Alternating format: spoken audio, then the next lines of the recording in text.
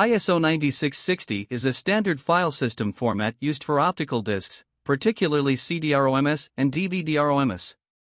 It was established by the International Organization for Standardization (ISO) in 1988 and has since become the de facto standard for storing data on these types of media. The ISO 9660 file system is designed to be platform independent, allowing disks created with this format to be read by various operating systems, including Windows, macOS, and Linux.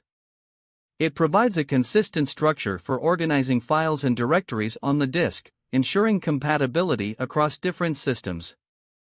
ISO 9660 imposes certain limitations and restrictions on file and directory names to ensure compatibility with older systems and to facilitate cross platform usage.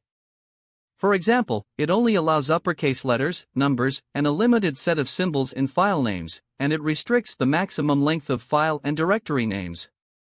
The primary purpose of ISO 9660 is to enable the interchange and distribution of data on optical media. It is commonly used for creating software installation disks, distributing operating system images, storing large amounts of data for archival purposes, and creating bootable disks for system recovery or installation. While ISO 9660 has been widely adopted and remains in use, it does have some limitations. It does not support certain features found in modern file systems, such as file and directory permissions, long file names, or journaling.